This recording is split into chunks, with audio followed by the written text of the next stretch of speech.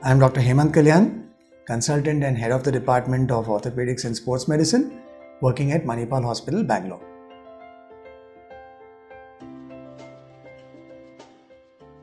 That's a good question because a lot of people who have ACL injuries don't actually know that they have an ACL injury for quite some time and they seek medical help rather late.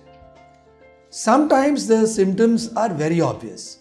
You have an injury within an hour and a half, swelling in the knee, pain which is severe, difficulty in walking, and difficulty in bending the knee.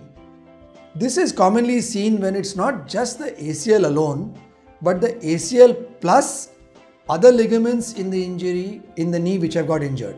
For example, you have something called a collateral ligament that may get injured in addition to the ACL, or you may have a meniscus, which is the shock absorber, also getting injured in addition to the ACL, and that's when these symptoms will be quite obvious to the person who has the injury. But there are many situations we see where the person has an injury, even goes to a doctor, a general doctor, and they say they maybe take an x ray, they'll say there's nothing much, it's fine, but the person doesn't get better three weeks, four weeks down the line, and they come to us with just swelling and pain, and they'll say, We have a feeling, doctor, that I'm not confident about my knee that if I try to do some activity like a little running with my child, I feel my knee is going to give way.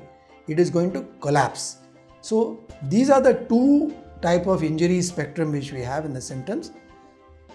Multiple injured ACL plus other injuries will give severe pain, immediate swelling, difficulty in walking. But if the ACL is injured on its own, then the swelling and pain may be a little less and they may start complaining of instability in the knee a few days or weeks after the injury.